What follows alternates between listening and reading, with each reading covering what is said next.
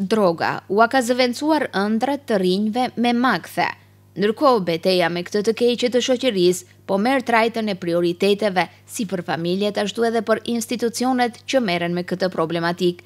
Gjatë ditës së sotme, Sektori i Punëve të Brendshme Tetovë ka dhënë një raport të detajuar për dy muajt e fundit vetëm përsa i përket drogës, me ç'rast numrat sërish mbetën shqetësues.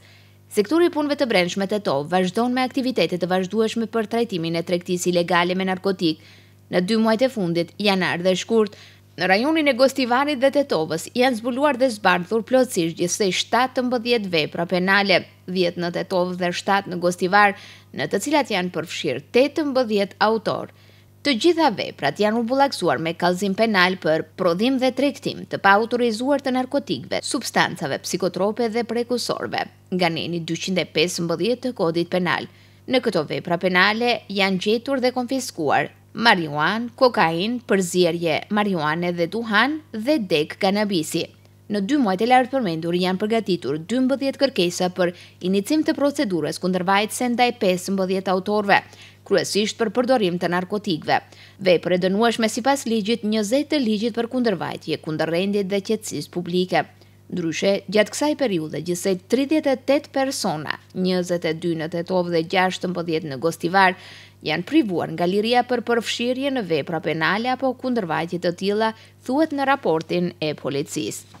Nga Qendra për Punë dhe Politikë Sociale në Gostivar i kanë potencuar shqetësimin për të miturit që bien në kurthin e drogës, duke apeluar tek prindërit për kujdes të shtuar. Gjatë viteve të fundit ekziston një epidemi e përhapjes së drogës edhe në Gostivar.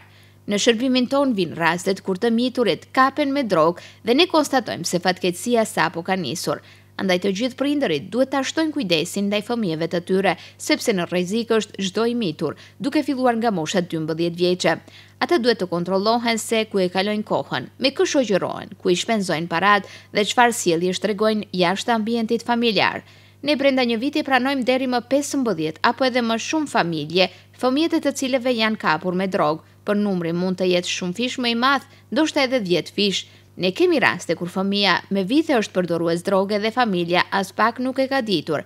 Andaj shprehja unë e di fëmijën tim bie në ujë sepse po del që prindërit më së paku njohin fëmijët e tyre, deklaron Bilen Karahasan, psikolog në Qendrën për Punë dhe Politikë Sociale në Gostivar.